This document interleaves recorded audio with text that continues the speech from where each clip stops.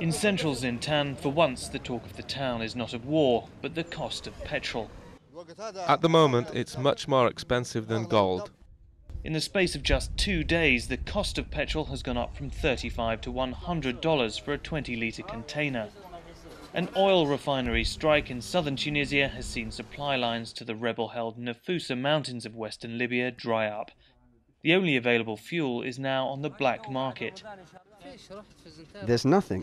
I went to Zintan, to Jadu, but couldn't find anything. All we can do is just stay at home. We're paying with our blood and now with our money, but there's no problem. Look at that, it costs 150 dinars. For the rebel fighters, it's fuel that feeds the pickup trucks that are the backbone of their fight against the Gaddafi forces that lie between them and Tripoli to the north. For the moment, though, the rebels claim the shortage is not an issue. It's true, there's a petrol shortage, especially for civilians. But for the fighters, there's no problem. We have strategic reserves, and our military operations are not affected.